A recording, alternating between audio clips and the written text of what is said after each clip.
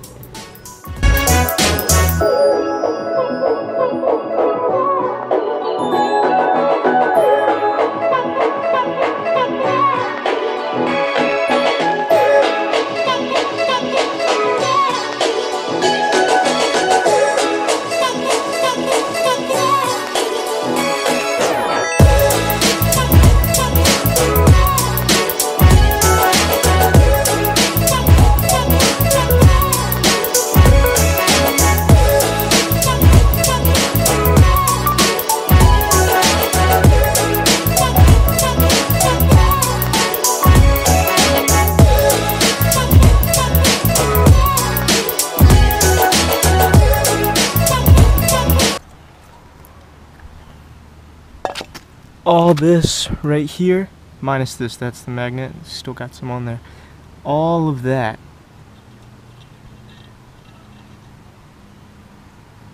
are teeth and shavings from the diff. Alright guys, so here are the uh, chunks of metal, well, the bigger pieces that I found using the magnet. As you can see, those are almost whole teeth. That one right there is huge, absolutely massive.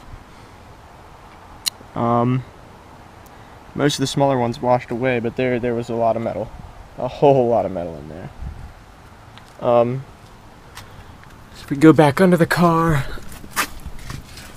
take a look here, you can see all those teeth right there.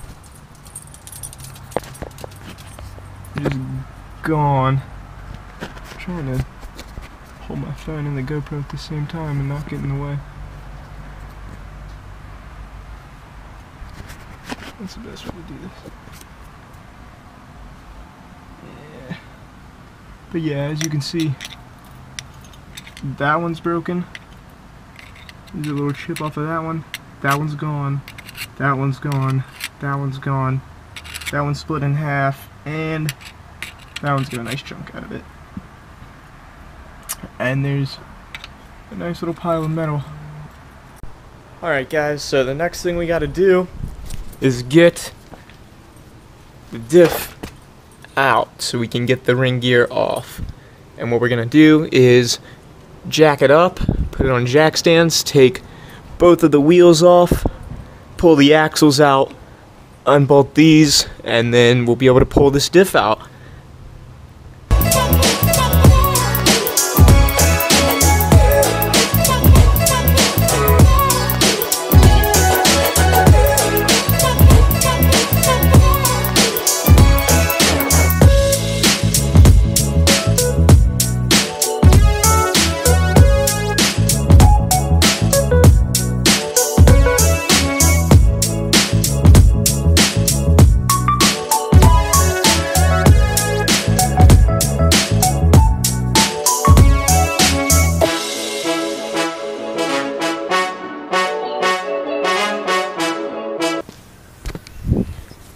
Alright, so got the wheels and tires off. Now we'll take out this cotter pin and figure out what size this axle nut is.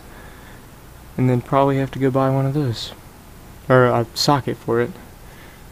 And then we'll take the uh, caliper and the rotor off and we should be able to pull the axle right out of there with the U-joint and everything.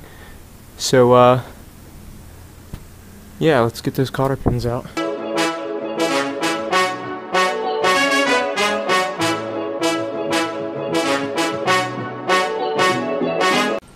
Alright, so next what we're going to do is take off the brake caliper, and there's just two bolts in the back here.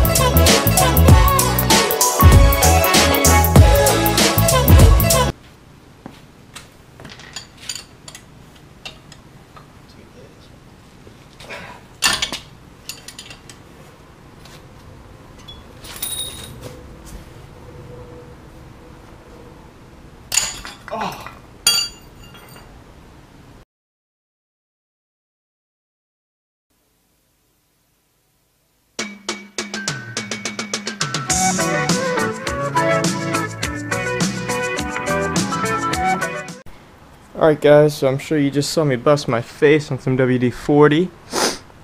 That was quite a fun one, but once you get these three bolts out right here, you can go ahead and take the wheel bearing out. Then you can take the axle off.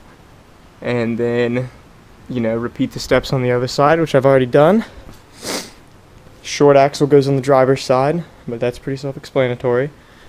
And then after that, we can go ahead and take these four, five, eighths bolts out, I believe, pretty sure. And we should be able to pull this whole differential assembly out.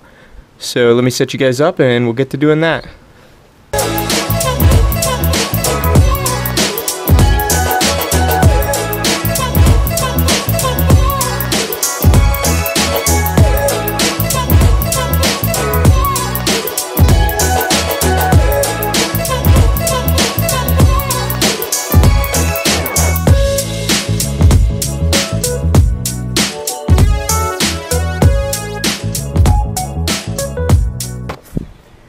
We go, and now we can really see what is going on there.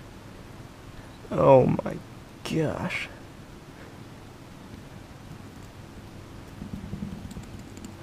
Yeah, all the spider gears look they look pretty good. So what we're gonna do is take a 5 16ths and take out all of these bolts. And then we'll have the ring gear off. So, yeah.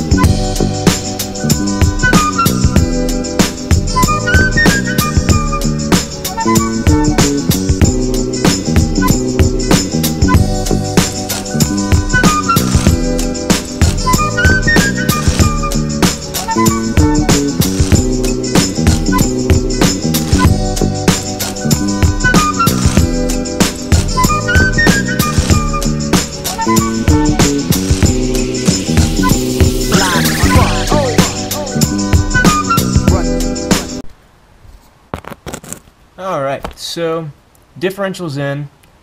Now it's time to put the axles, put the axles back in. I'm going to throw a little bit of the limited slip 8W90 oil on it. And we'll throw those both back in. And trying to find the best spot for this. Yeah, that should be pretty good. We'll throw both of those back in.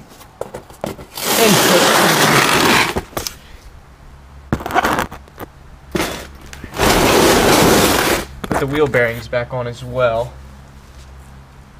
So, yeah.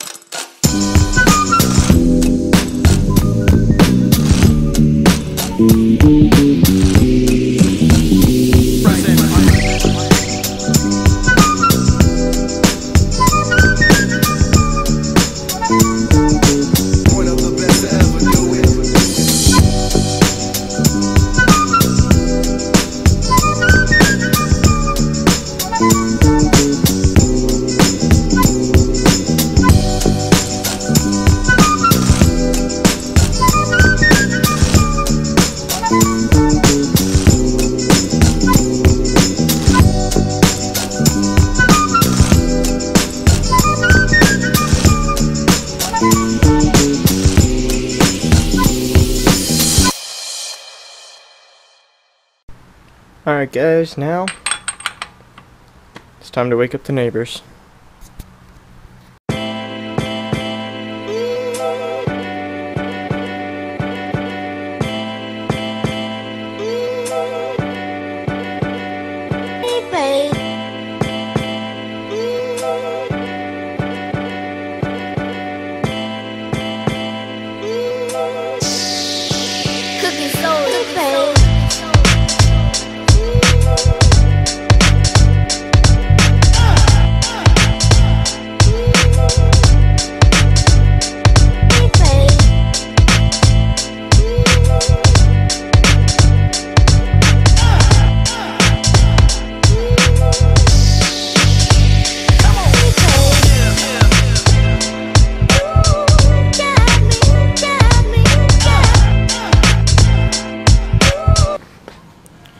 Time to go ahead and put the wheels on. And once the wheels are on, then we will torque all the ring gear bolts to spec. Fill that up and we'll be good to go. So, uh, let's get to it.